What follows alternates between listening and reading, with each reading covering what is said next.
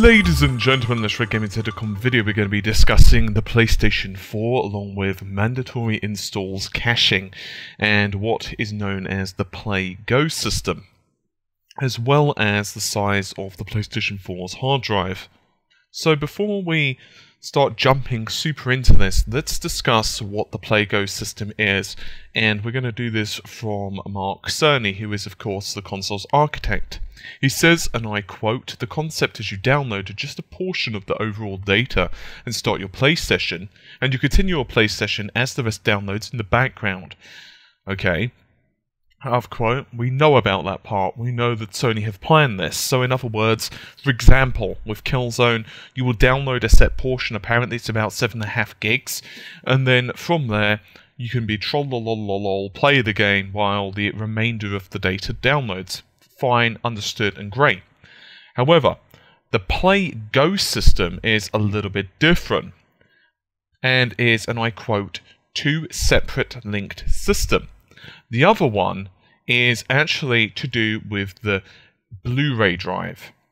So um, what he said is, so what we do as the game's accessed the Blu-ray disc is we take any data that is accessed and we put it on the hard drive and then if there's some idle time we go ahead and copy the remaining data to the hard drive and what that means is after an hour or two the game is actually on the hard drive and you have access, you have dramatically quicker loading, and you have the ability to do some high, high speed streaming. Now, out of quote, it seems that this is mandatory. In other words, you do not get a choice in this. It is a prerequisite. Why? Well, it's pretty simple actually. Um, as it turns out, Blu-ray drives have improved over time, right? We know that, but as any PC gamer will tell you, um, hard drive size is very important. In other words, you have a lot of data. Um, so, for example, you need to fill up five or six gigabytes, which is the size basically of the memory available to games in the PlayStation 4, not eight, because obviously some is reserved for systems. So let's say six gigs you can't rely exclusively, especially on certain titles which have a heavy emphasis in an open world environment, to start streaming that from the Blu ray drive. Um, you may remember uh, that the PlayStation 3 actually had similar issues. Um, when you, for example, load up The Last of Us, it takes a long ass time to load. Um, and who could forget the rather infamous Metal Gear Solid, where of course Snake would be sitting there between sections of the game, basically smoking, and you could pretty much go to the toilet, make yourself a four course meal, come back, basically solve world hunger, and still be having time to pretty much set, settle yourself in while the game loads. And that's because a huge amount of data is basically being copied from the Blu ray to the system. So, I know what you're going to say this sounds a bit strange. Well, basically, the premise is kind of similar in some ways to um, the mid 2000 era of PC gaming.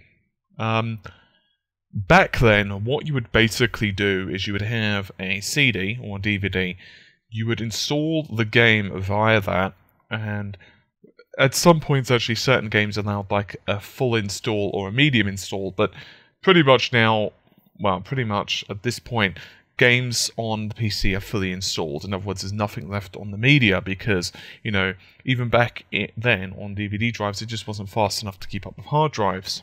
So basically, what happens is you just left the disk in the tray for, to authenticate. In other words, so that you don't take the disk around your friend Bob's house, your friend, you know, Sarah's house, and so on. Let them install the game and have basically infinite copies. So, in other words, the disk now acts as an authentication method, which is fine, obviously. Um, so this immediately brings up another concern, and I'm sure you can get guess what this is: hard drive space. Now, I've been pretty critical, actually, of the 500 gigabyte drive in both the Xbox One and the PlayStation 4. Now, admittedly, you are free to remove the PlayStation 4's hard drive and you could put in, say, a 1 terabyte drive or whatever you want. You could put in an SSD. up to you. I mean, you know, you could put in even a smaller drive if you want, but I'm not sure why you'd do that. But regardless, you could if you so wish. Obviously, there is a certain amount of space. I don't know what it is offhand. In fact, I don't think it's been announced that is reserved for the operating system. But even so, you're probably going to get, you know, the majority of the space. Um, ignoring the fact, of course, the way hard drive space works and all that, you're never going to get 500 gigabytes. But regardless, you're probably going to get, you know, 10, maybe 12 games in. Now, this, of course, is an arbitrary figure. In other words, it highly depends on how big the game actually ends up being when it's placed on the disc. And so you might get a situation where, say, a fighting game or a game that's pretty small might be only, you know, 10, 5, 10 gigs, whatever. Or you might get another game that's 40 gigs plus. In other words, there's no way to tell. Each game is going to uh, vary quite a lot. But let's assume that the average game, you know, most games are going to be like between 30 and 40 gigs. You're going to be getting around the dozen mark on the hard drive, which I'd not exactly consider to be a plethora. So, the option, of course, does give some benefits.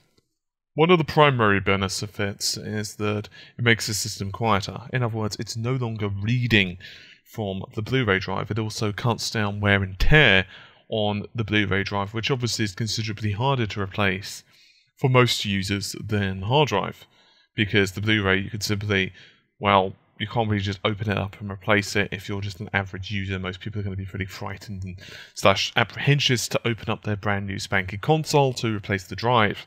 On the other hand, it's pretty simple from what uh, the reports are to replace the PlayStation 4's hard drive. So that's a good thing.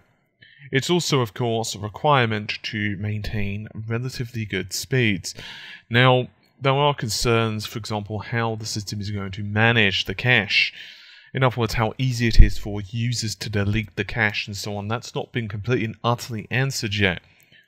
One thing is for certain, in my personal opinion, um, I'm unsure if 500 gigs is going to be enough for those people who plan to own a lot of games or be the type of people who switch a lot of games. Like, for example, if you're one of those people who buy a game um, and you maybe have like a couple of games going at the same time. You play one game, okay, I'm done with this. I'm sticking it on eBay or whatever you do with it. Cool. You'll probably be okay with a smaller drive. On the other hand, if you're one of those people who like to play quite a few games and you like to have multiple games, especially if you're an online gamer, and therefore you might want to play Battlefield, you might want to play some Killzone, you might have some other titles on the line as well, then you might have some problems because obviously if you've got a slower connection, um, for example, then you might not want to wait to download a huge ass file. So I imagine for people with slower connections, unsurprisingly, I know it's not exactly a shock, but you're probably going to want to stick with disk-based medium for uh, the foreseeable future. Anyway, I think that's just about it on this particular video. Hopefully you've enjoyed it. I'll see you soon. Take care. Bye for now.